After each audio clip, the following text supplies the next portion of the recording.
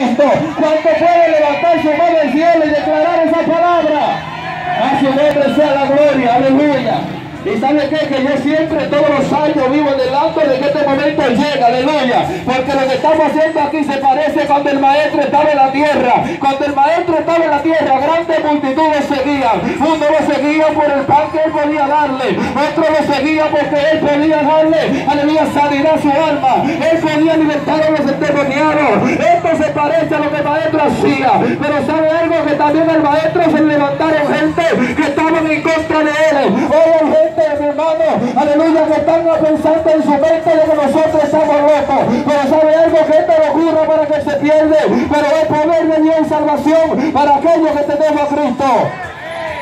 A su nombre sea la gloria. En un momento dice la Biblia en el libro de San Lucas, capítulo 7. La Biblia relata que en un momento iba entrando Jesús a la ciudad de Naín. Aleluya. Y en un momento, mientras él entrando a la ciudad, algo iba aconteciendo. Venía un entierro ahí, venía una mujer viuda que acababa de perder su hijo. Aleluya. Esta mujer venía llorando a su muchacho. Esa mujer venía diciendo, wow, el único niño que Dios tenía. Quizá el ingeniero de mi casa se me ha muerto.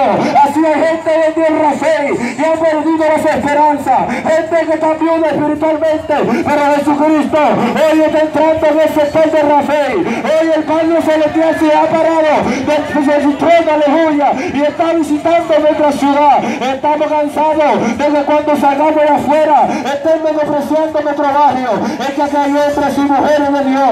Aquí hay hombres y mujeres que aunque tengan tallo del pecado, Dios tiene un propósito grande. Y en esta noche declaramos, aleluya, que Rafael no le pertenece más a la droga. Declaramos que Rafael no le pertenece más a la prostituta. Declaramos que Rafael le pertenece a Cristo, a Cristo de la gloria.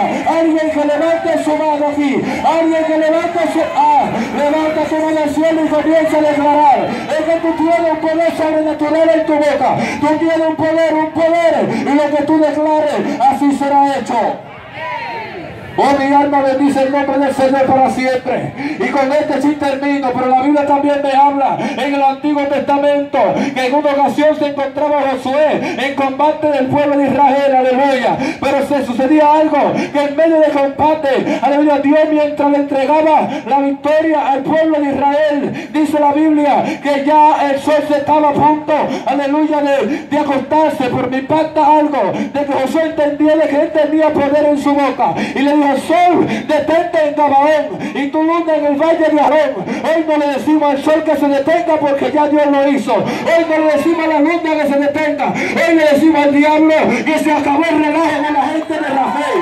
Hoy le decimos al diablo que ya se acabó su relajo porque Jesucristo hoy ha venido a levantar. Hoy ha venido a romper cadenas. Los altares se caen. Los se acaben su relajo porque Jesucristo hoy haciendo victoria. Hoy el Señor de señores, el león de la tribu de Judá, hoy comienza a escribir nueva cosa de este sector. Por tanto, declaramos que Rafael le pertenece.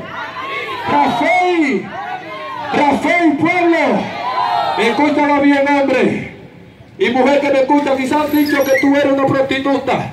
Quizás los policías han dicho que tú eres un delincuente, pero hoy la iglesia se ha tirado a la calle a decir que eso es mentira del diablo. En la calle, aleluya, la iglesia. Hoy ha venido a decirte que tú eres hijo de Dios, que tú no le perteneces al diablo ni a los problemas ni a la muerte. Tú eres hijo de vida, pero para tú tener vida tienes que venir a los pies de Cristo, que Él es el único que puede darte la salvación. Alguien que le dé un aplauso al Señor en esta tarde. Vamos, dáselo fuerte, vamos, dáselo fuerte. Que llegue el rey de los cielos, que llegue el rey del rey de los cielos.